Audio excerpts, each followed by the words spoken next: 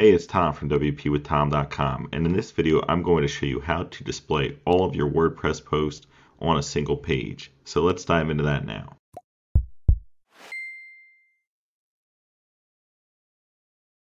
Alright, so the first thing that I'm going to do is I'm actually going to show you that I have 15 posts set up.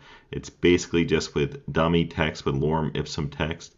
If you see it goes all the way down to 5 or 6 here and then we have more on the next page. So we have 5 through 1 on this page because it goes 10 per page.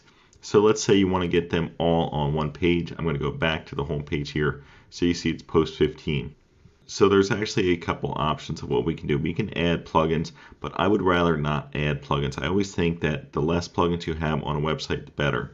Now, if we go down to where it says settings and reading, here's where we can change that. So right here it says blog pages show at most.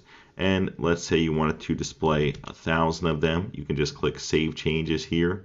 And now if we went to the front and refresh this page, we're going to see that it goes post 15 all the way down to post number 1 rather than being split up on different pages.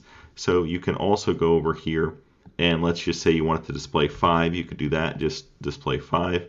And if we go and refresh, you're going to see that there's only 15 through post 11 right there and now there's three different pages with five on them. So that is how you would split up your post or put all of your posts on a single page by making this just a really high number like a thousand for an example now this isn't something you always want to do though I want to be transparent with you about this because the more posts you display on your home page it can kind of slow down the load time and bog it down a little bit so I would limit this to a number that you're more comfortable with. I wouldn't have a thousand on there.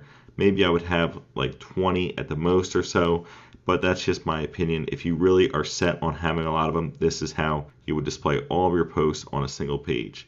I hope you found this video to be helpful. If you did, please consider giving it a like and subscribing for more WordPress related content. Thanks for viewing and have a wonderful day.